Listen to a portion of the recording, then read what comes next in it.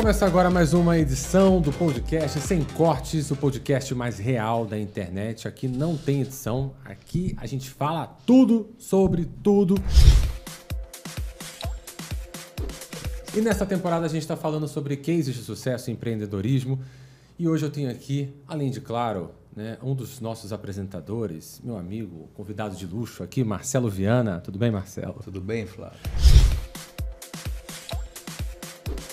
E também Animado, temos... Flávio? Eu tô animado. Sou uma pessoa animada na medida Gostei do possível. Do, do blazer. Gostou? Gostei. É, por tá, vocês. Tá grande não, né? Não, eu tá um pouquinho, o ombro talvez. Como é que fala? O defunto era Comprou só o programa não, né? Só o programa. Aluguei, aluguei. Tô, tô brincando, tô brincando. Mas isso aqui é para receber um convidado muito importante hoje, Marcelo. Nós temos, nós temos aqui alguém, um especialista de primeira que cuida do nosso sorriso, que cuida da nossa imagem, mas, sobretudo, que é, é um especialista em saúde bucal. Nós estamos hoje aqui com Rafael Andriolo, que é cirurgião dentista, periodontista, trabalha com implantes, próteses, dá aula e um monte de coisa. Tudo bom, Rafael? Tudo bem? Como é que vocês estão? Prazer aqui.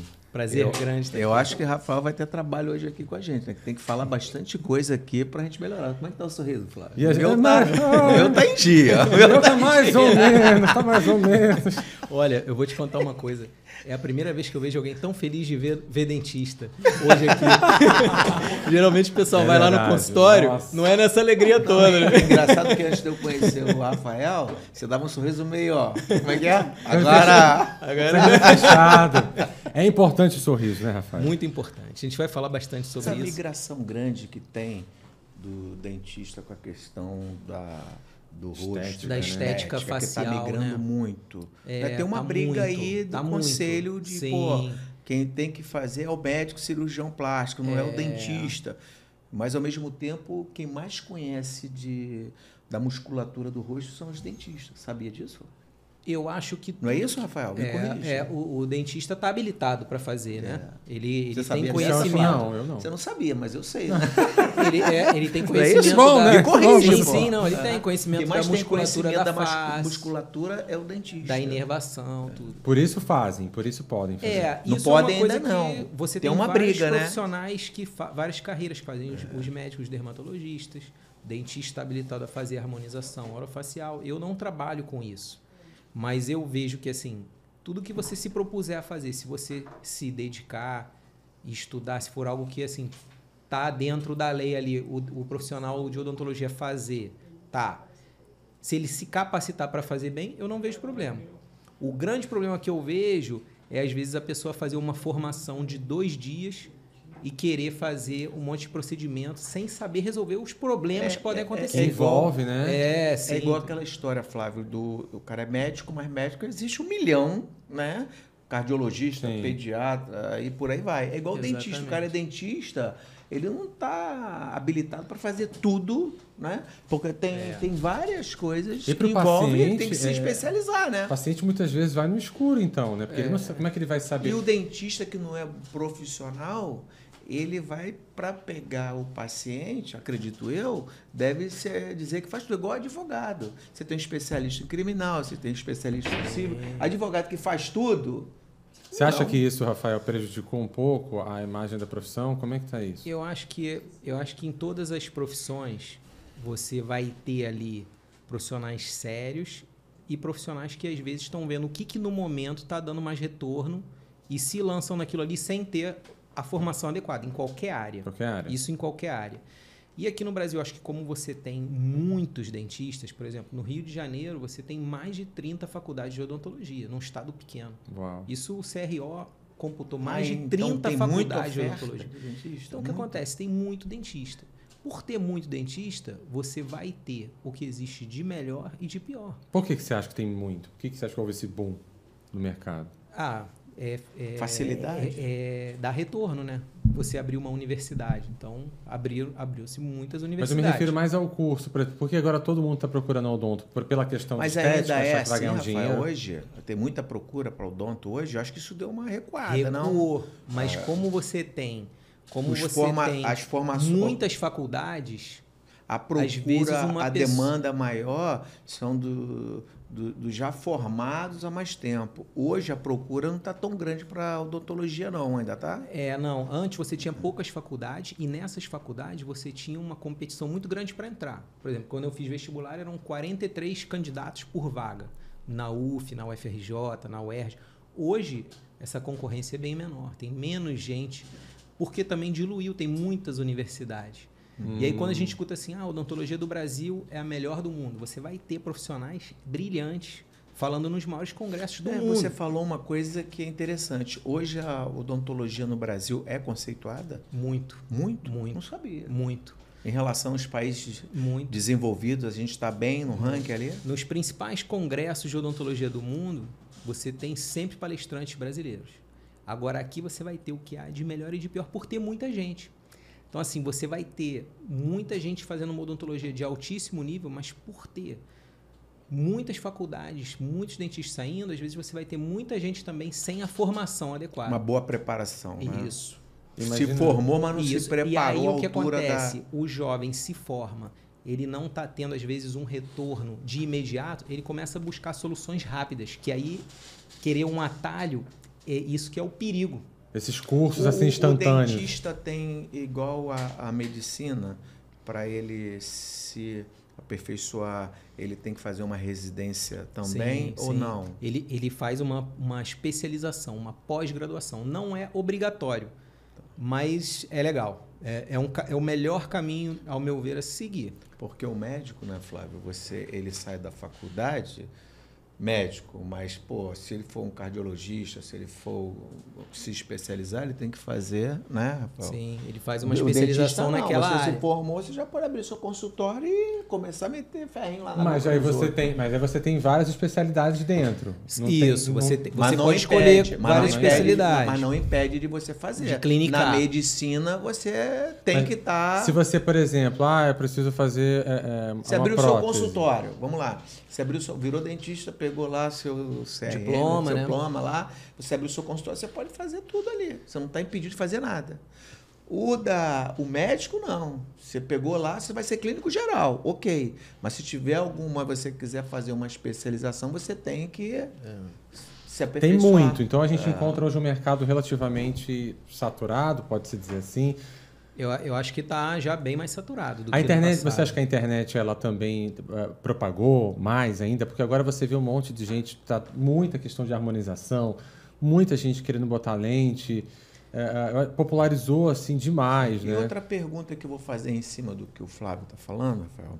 Além disso, tem a questão da do, do, do, tratamento em si, da formação das coisas que a gente usa para higiene bucal, tipo a pasta de dente com flúor, coisa que não existia antigamente. É, mudou, né? né? É todo uma, um preparo que você bucal, já tem, enxaguante bucal, a própria pasta de dente. Você vê lá atrás as pessoas tinham mais facilidade de cara, essas coisas. Hoje não. A água, por exemplo, já vem com, com é. flúor. É. Né? Antigamente não existia isso. Por que isso? Mudou muito. Isso daí isso é uma coisa um que a... que está causando uma grande revolução dentro do consultório, do perfil do paciente que procura o consultório ao longo dos anos. Então, assim, os nossos avós chegavam na velhice sem dente, com dentadura.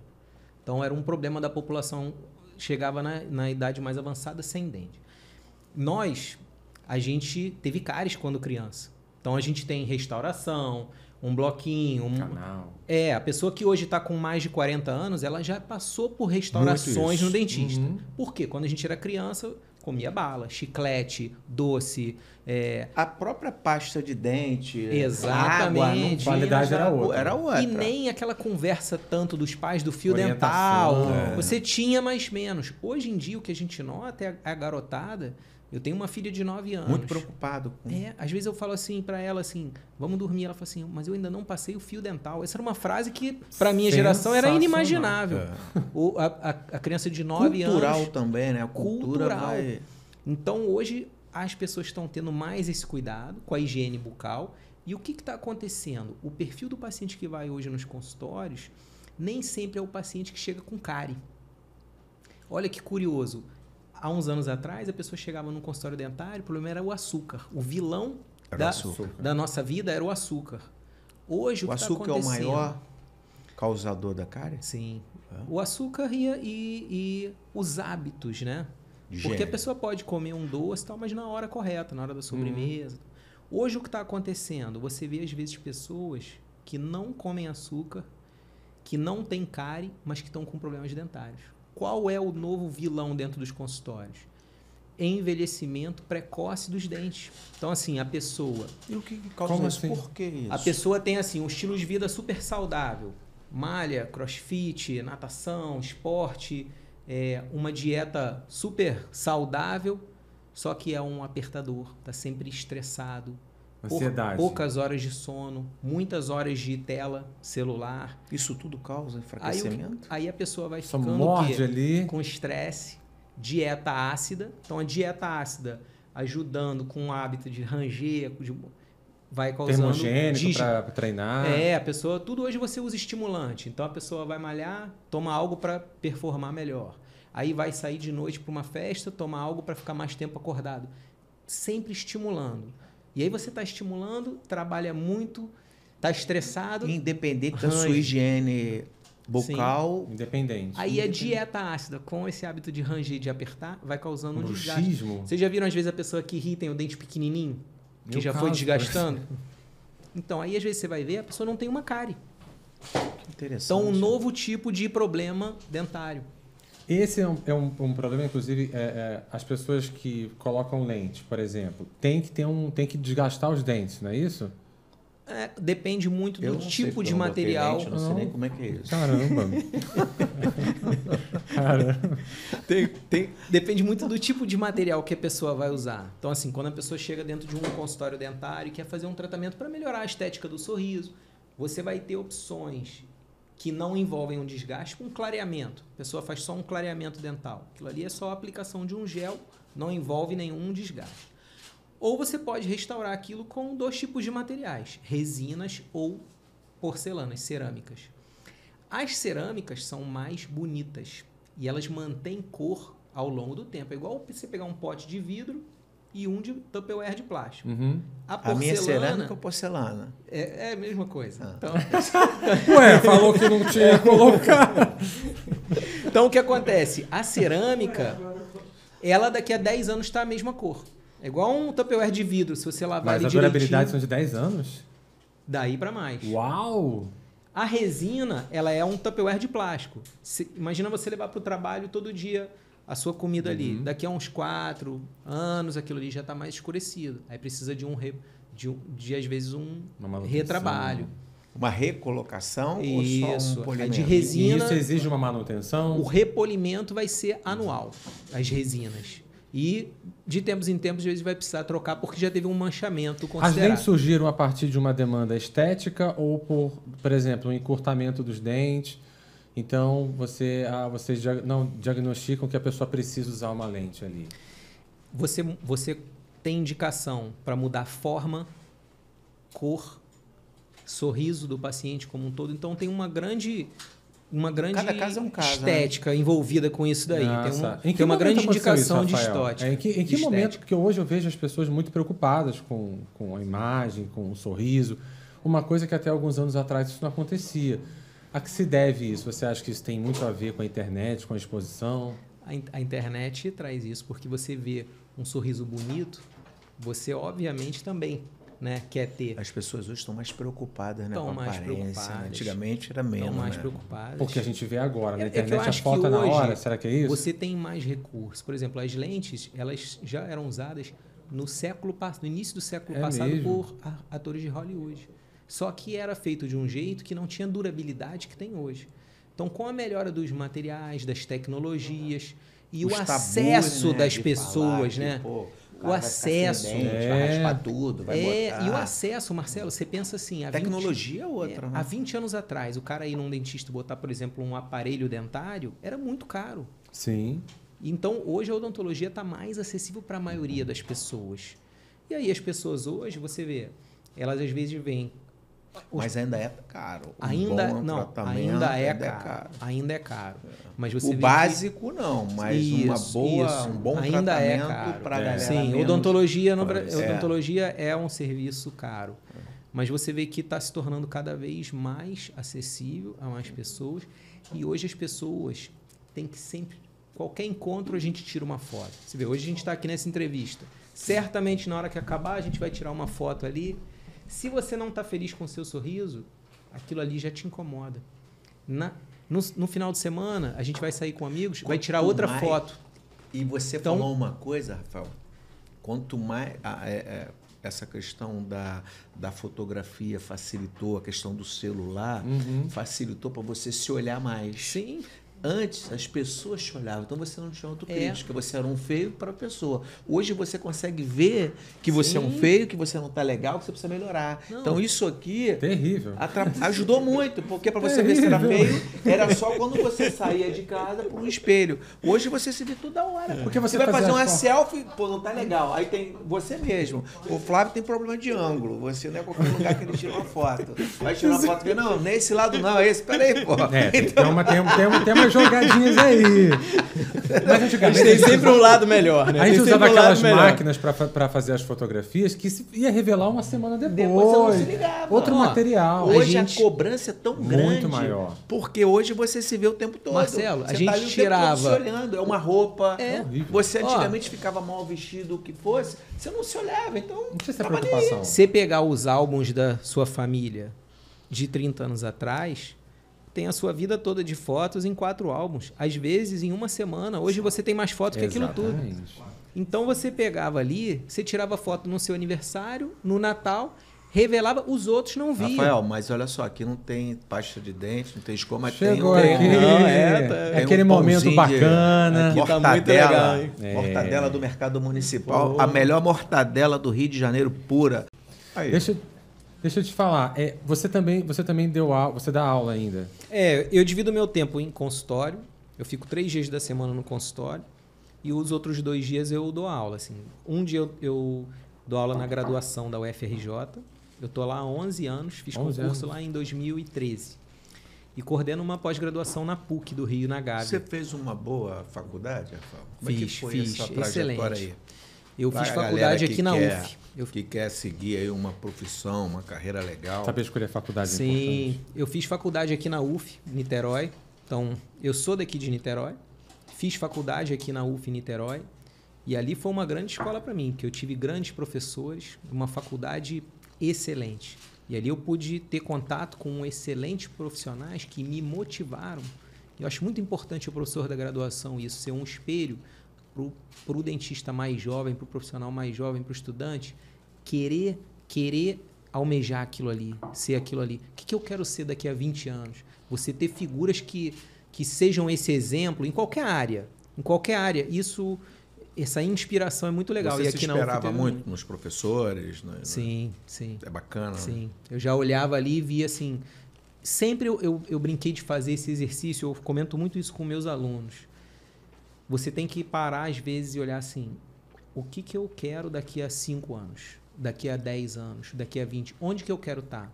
Porque se você for indo deixando a maré te levar, você não tem um plano. Você, a primeira coisa, eu acho que você tem um plano. É muito importante isso. Tem um objetivo. Né? É, na profissão e na nossa vida. Uhum. Você dentro da sua profissão e às vezes dentro da sua casa. O que, que a gente quer pra gente daqui a 10 anos? Onde a gente quer estar? Tá? Na profissão, isso é extremamente importante. Porque você vai ter uma meta ali grande. Definida. Eu quero estar assim. Mas para isso acontecer, você tem mini projetos que tem que acontecer para você chegar lá. Eu lembro que eu tinha um amigo que ele falava o seguinte: se você tem facilidade, você vai estudar menos. Sim. Se você não tem, você estuda mais. Sim. Toda vez que eu vi uma situação assim que eu falava, cara, isso vai ser difícil, eu falava assim, não, não, vai dar. Vai dar. Não, persistência, é, né? E é, isso é muito legal, Rafael, porque até você falar sobre isso com os alunos, a gente está falando isso aqui, porque as pessoas na primeira dificuldade existem, né, cara? É. Então, isso aí o que eu vejo do jovem hoje. Eu não estou falando que a geração mais nova mais desiste mais, mas eu vejo que o mundo mudou um pouco assim, ó. Quando eu fiz vestibular, você escolhia a profissão e você se preparava para aquilo, mas meio que você era exigido a saber o que você queria. Por exemplo, eu quero ser dentista, vou prestar um vestibular para odonto. Hoje, como que é isso? A pessoa faz lá a prova do Enem, e depois de ver a, os pontos dela, ela vê assim, o meu ponto, minha pontuação dá para eu fazer o quê? E aí, às vezes a pessoa escolhe uma carreira sem querer aquilo. Com base na pontuação que ela fez. Eu vejo os meus alunos no primeiro dia de aula, muito, né? tem muito. Gente, isso é terrível. Eu pergunto assim, por que, que você escolheu ser dentista? Primeiro dia de aula. De uma turma de 40, 38 falam assim, eu queria medicina, mas a minha pontuação só deu pro odonto. Ah, francamente, né? O que, que acontece? Isso é igual você falar assim, eu sou apaixonado por essa garota, mas eu vou casar com essa porque... Porque eu não consegui nada. Entendeu? com- Assim, você já... Qual é a chance disso dar certo a longo prazo? É quando você trabalha por paixão, né? Você gosta do que você faz, é diferente, igual o aluno lá, que ele trabalha para um resultado, ele quer Sim. financeiro. Essa conta de que você quer financeiro, uma hora ela pode dar problema na frente. Não vai Porque fechar, quando você né? trabalha com amor, fazendo o que É você isso. gosta, parece até que tu não faz nada, tudo parece natural. É, é. E E outra quando você trabalha pelo dinheiro, tudo fica mais difícil. E a pessoa e o seu cliente, independente de qualquer serviço, percebe. Percebe? Se você não tiver motivado, se você não tiver fazendo uma coisa que você gosta, por isso que eu gosto daquela. é, primeiro você planta. Sim. Nunca se preocupe em colher. Colher é uma Vai consequência. natural. Vai Natural. natural. Você está fazendo o que você gosta. Não se Natural. preocupa com o resultado, não. Natural. Mas você acha que falta isso? Eu Rafael? acho que- Falta paixão? Não, Quando não, ele não. coloca a acho que o- questão do aluno lá na, na hora que faz o vestibular, que ele coloca como segunda, terceira opção, ele não passa pela primeira, a paixão dele já ficou para trás. Já ficou. Ele, ele não Ele quis o vai- sacrifício é. para aquela. Porque tudo que, tudo que você fala assim, ó, isso aqui vai ser muito legal. Tem um sacrifício. Pensa numa viagem muito legal. Vai ter o sacrifício, vai, vai Tudo ter tem um, um preço. custo. Tudo tem um preço. Então, tudo. Se você quer a parte boa sem ter o sacrifício, não, não vai. Que é o bônus sem o Aí ônus. você fala assim, não, eu vou nisso aqui porque vai ter pouco sacrifício envolvido. Hum. Cara, mas também talvez não, não Mas seja quem tão legal. age, quem age assim, Rafael, dificilmente vai encontrar o sucesso pleno. É isso que diferencia os bons dos Lógico. profissionais não tão bons. O cara pode dar até Talvez sorte. seja isso. É né? importante, nós em, em todas as áreas que eu vejo na minha área, é você assim tá sempre regando isso e dar aquela injeção de ânimo frequente. Por exemplo, na minha carreira, é você de vez em quando sair de dentro do seu consultório, faz um congresso, vai lá, assiste, Você aquilo renova. Você se especializa sempre? Tá sempre, Sempre. inovando? Sempre, eu costumo Sempre falar o seguinte: uma vez por ano você tem que sair para fazer um congresso de alto nível, para você ver o que estão falando, as novidades, novas tecnologias e principalmente para você voltar para o consultório. Pô, eu vi aquilo ali, foi muito legal. Um paciente pode é, identificar um- essa quantidade de profissionais que tem no mercado, com a quantidade de serviços que são oferecidos.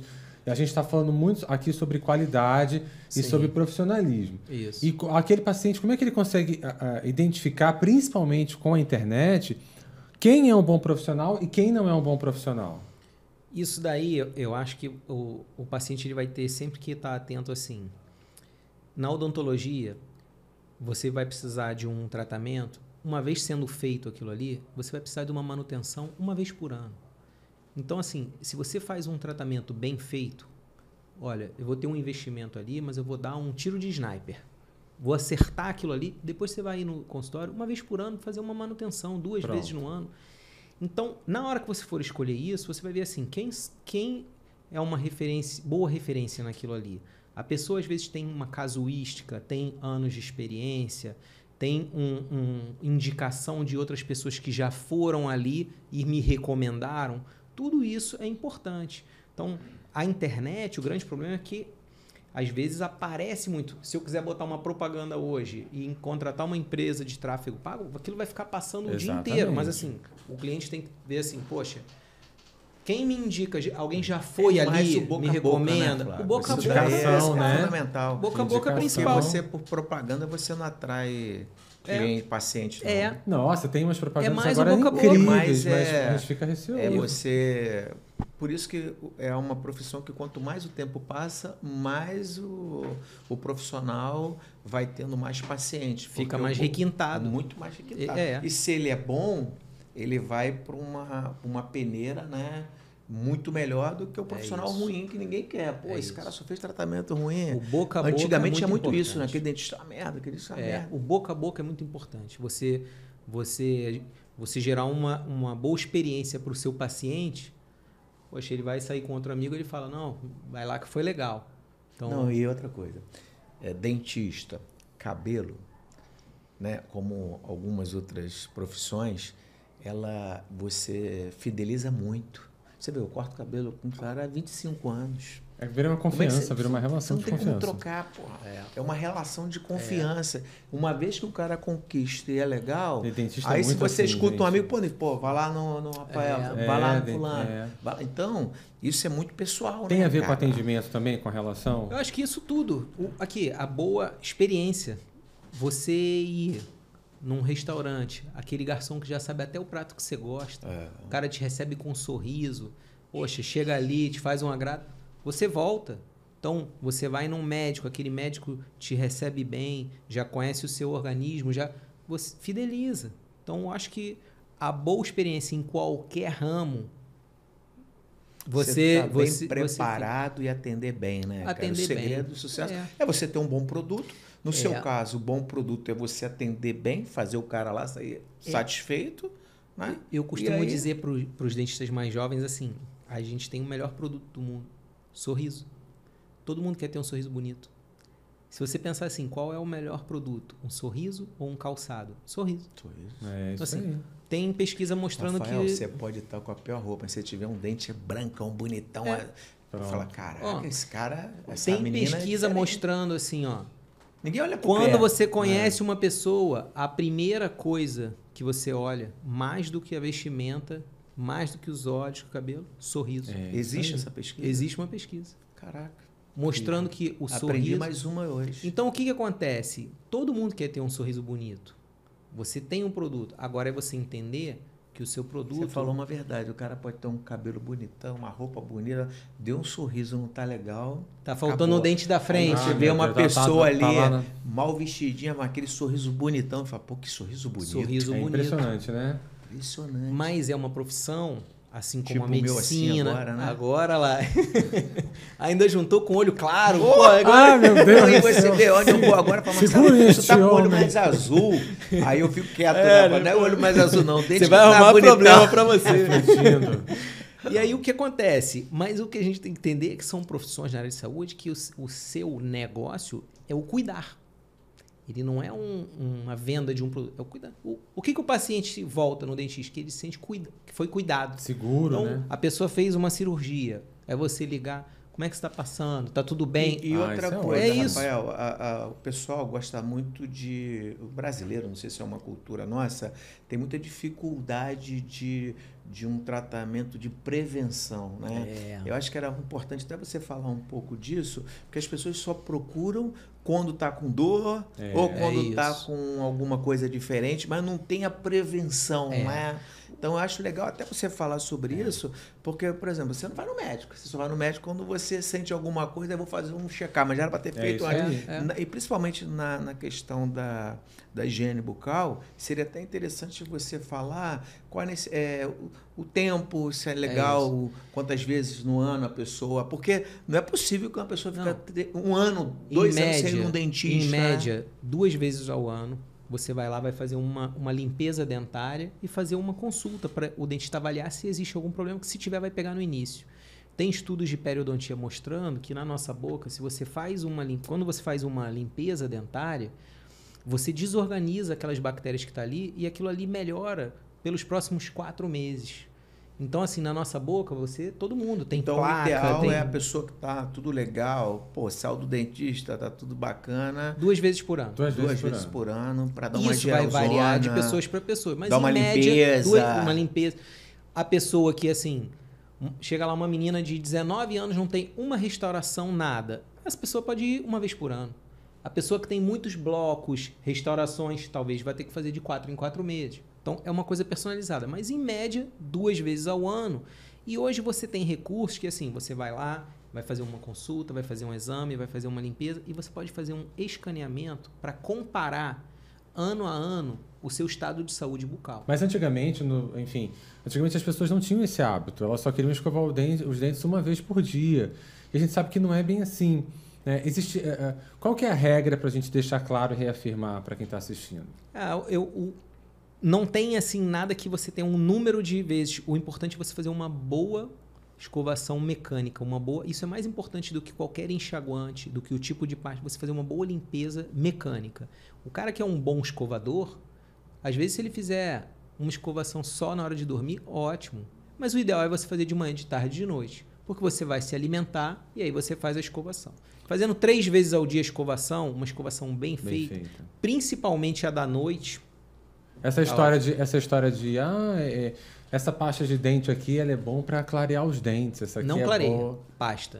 É tudo mentira. Não, clareamento é, é, é com gel clareador feito no consultório ou em casa. Essas que aquela vendem no pasta- mercado é Aquela tudo Aquela mentira. pasta- a pasta de Aquela dente- pasta que você comprou lá nos Estados Unidos, que você falou É, que a pasta de dente não vai clarear. A pasta de dente, ela fica pouco tempo em contato com Cara, o dente, não vai clarear. comigo que ele tá fazendo, ensinaram ele a fazer um negócio com Ele tá carvão. fazendo um cla... Ah, tá não, então. com carvão. Não entra nessa não, Flávio. Marca lá. carvão. Não, fala pra ele marcar lá, a gente vai... Nossa, ainda de tá carvão. fazendo? É, não, é. parei, não deu. tem, tem a questão do enxaguante bucal também. O pessoal fala, não use com álcool, use sem álcool. É, então, o enxaguante, ele dá um cheirinho bom. Não tem estudos comprovando que o enxaguante melhora a, a, a, a sua Vamos lá, deixa eu qualidade, fazer uma saúde pergunta que bucal. Eu tenho muita curiosidade, Rafael. O que que gera o mau hálito? Ah, então, o mau hálito pode ser uma má escovação e uso de fio dental. Pode ser porque a pessoa está com focos Tá, dentais, mas a ele pessoa é tá só com cárie, doença é periodontal. O também? paciente que tem um- uma doença de gengiva, então assim, uma, uma periodontite perda óssea, esse paciente tem um, um odor. Você percebe que tem E o um grande mau problema hálito. do mau Às vezes a hálito pessoa tem um problema de estômago. estômago. Então são coisas E o grande diferentes. problema do mau hálito é só o outro que sente, ele não sente. É, sente também, eu acho que Sente? a pessoa sente Não é também. Não, não O sente, dentista, não. ele, ele vai diagnosticar isso e vai intervir ali. Se for bucal, o próprio Se for dentista bucal, consegue... você faz uma raspagem, uma profilaxia, uma, uma chamada limpeza, melhora. Agora, Quando isso envolve outros, aí você pode encaminhar para um, Tá, então um quais são, médico. os, quais são os, os Procure o dentista. É Pro- dentista ou tem a parte que é de, de estômago? Tem também. Procura o seu dentista para ele ver se é dentário ou não. E se não tiver nada se não dentista, for dentário, aí você pode é- mandar para um médico Um gasto. e um é, gasto. Que vai poder resolver Isso. Qual que é isso. mais comum no mau hálito? Porque tu- as pessoas Doença periodontal. É. É, problema Porque- de gengiva. Esse é o grande problema do, do mau hálito? Isso, muito isso. E tem muito, acontece muito isso. Muito. Você lá, é, num período, você tem 15 anos de já de consultório. É, as pessoas estão melhores ou estão piorando na questão do, Saúde, do- tratamento. da saúde bucal? Estão se cuidando mais. Estão se cuidando Estão mais. se cuidando mais. E assim, um- engraçado como você tem a pessoa que te busca pela saúde e quem te busca pela estética. Mais pela estética. Ó. Mas isso daí a gente não Eu recrimina. sou, eu sou curioso em alguma coisa. Você sabe que eu sou muito chato, eu sou, eu sou virginiano, perfeccionista demais. É, eu vejo várias pessoas colocando lente. Eu falo assim, pô, é claro que eu não, essa pessoa não teve condição de fazer um tratamento bacana para fazer aquela, aquelas lentes. Como é que fica isso? O cara vai lá, bota a lente, o dente todo maltratado, É, isso- todo sem estar Isso cuidado. daí é que assim. é o que mais tem hoje, é, né? Tem muito. a pessoa com dente. Aí, uma semana depois, tá tudo branquinho. Eu falei, pô, tá, porque eu conheço. Aí você fazer uma obra e saber que pintou, mas ali tá tudo ferrado. É, Só botou é. um papel de parede, é, mas por trás É, tá. então, você terrível. tem ali saúde estética, que tem que caminhar de mãos dadas. Quando você bota um e negligencia o outro. E tem muito isso, Tem né? muito. Então, Eu assim, observo, Pode cara. fazer isso? Os dentistas não, Não, não recomendam, não, pode, faça isso. Mas faz, Mas, porque você vê quantas pessoas. Eu vejo um monte de gente que. Ah, vou fazer. botar lente. Uma semana depois tá. Eu falo assim, pô, tem uma coisa É. Você faz ali. essas lentes, facetas na frente, e às vezes tem ausências de dentes atrás, você fala assim, poxa, cara, você não tá Nossa. conseguindo morder, como é que você vai fazer? Até pelo entendeu? sorriso da Então- pessoa, eu vejo que, pô, tinha que ter feito um trabalho, O um que é mais tratamento importante, diferenciado. O que, que é né, mais também. importante? O que eu noto no E consultório... chega muito lá gente assim, Rafael? Aí não, dá lá no consultório né? não. O que eu vejo que acontece muito, às vezes a pessoa te busca por uma coisa estética, por um Aham. problema estético. E às vezes, quando você vai examinar, você vê que tem outras coisas que precisa fazer. Mas quando você orienta, a pessoa, a pessoa Faz. faz, entende que assim. A prioridade. É, não poxa, é- eu vim fazer um clareamento, ó, mas você tá com uma inflamação na gengiva que a gente tem que tratar primeiro. Ótimo, vamos tratar. A pessoa veio, às vezes, o que ela queria mais era o clareamento, mas pelo menos ela foi ao consultório. E aí o dentista pôde ver. Então, assim, essa, esse apelo estético, ele acaba trazendo as pessoas Ah, para é junto do interessante. médico, do, do dentista, do fisioterapeuta, do- do- das diferentes carreiras. É, a parte estética acaba fazendo com que a pessoa tenha mais autocuidado. Isso daí Isso é bom, acontece. É essa bom, é bom. Tem. Mas a, a- só para a gente. é, é, a gente está chegando na reta final e a gente percebe uma, uma alta, uma procura muito grande, seja pela estética, seja pela saúde bucal. Queria que você é, é, deixasse uma mensagem para a gente, né? para esses profissionais, para esses estudantes universitários que estão aí tentando entrar no mercado, se preparando para entrar no mercado. Quais são as maiores dificuldades que eles vão encontrar e o que, que eles podem fazer para se perpetuarem na área? O que eu falo sempre para os meus alunos, e que eu acho que eu, se tiverem jovens dentistas ou de qualquer outra profissão, pessoas que estão começando na profissão, não é, não é um papo de dentista isso aqui, Uhum. é sobre qualquer área. Eu acho que tudo quando para você, e eu ainda tenho muita coisa para galgar, tá? Quem sou eu para ficar falando de receita de sucesso, mas assim, é você ter, eu acho, degraus sólidos. Então, assim, eu acho que qualquer história de qualquer pessoa que vem aqui falar, do Marcelo, da sua, você, você não chegou aonde você está hoje num salto só. Então você vai, vai ter degraus que você vai ter que ir galgando aqueles degraus e botar degraus sólidos. E você vai aos poucos. É igual você aprender a surfar. Você não vai chegar lá no primeiro dia e vai dropar uma onda. Você vai ter que aprender a passar da arrebentação. E é chato. Estoura a onda na sua cabeça. Você toma um caldo, você bebe água, aí você tem que aprender a furar a onda. Aí um dia você foi lá, depois de tomado várias socas, você dropa, pô, sensação ótima. Durou um segundo, mas aquilo faz você querer aquilo mais. E uma onda maior. E assim é em qualquer área. Eu acho que é você ter uma persistência de saber que o início vai ser difícil e você ir criando bases sólidas para que, à medida que você for caminhando, aquilo não seja uma coisa que possam te derrubar muito rápido. Você, não, não. Se eu cair aqui dois degraus, eu sei subir. Ou então eu tenho, eu tenho tá um com uma degrau boa base, sólido, é uma uma boa base. base. Eu acho que isso para qualquer área. Eu concordo plenamente que engraçado que todas as pessoas de sucesso que vêm aqui falar com a gente, né, e fala exatamente isso que você falou, é, da gente estar sempre dando degrau sólido, nunca um degrau maior do que aquilo que você está preparado para fazer, É. que é o grande erro, é você querer dar um É. passo maior do que aquilo que você não está É, preparado é. para fazer. E o que eu vejo hoje, convivo muito com jovens, é que às vezes o jovem, ele, ele hoje com o Instagram, a internet, ele vê os cases de sucesso. Então ele vê assim, poxa, é, ah, esse cara aqui tá indo super bem.